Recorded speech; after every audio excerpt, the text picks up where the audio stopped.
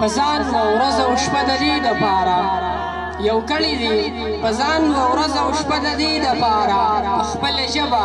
تېر شوي د هر څه د دې دپاره تاسو کلي په قلم ویني د زړه د دې د پاره لیکل دي د امن ترانه د دې د پاره ګل کړي دي دا سخ کلی نامه پس پین رومال خپل قام لدی کړه پټه خزانه پس پین رومال د مینې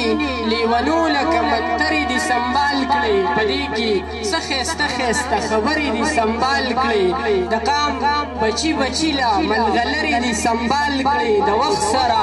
الوت لرا وزرې دي سنبال کړي پټي کا د پښتو پر هر سینه په سپین رومال خپل قام لدی کلپټه خزانه په سپین رومال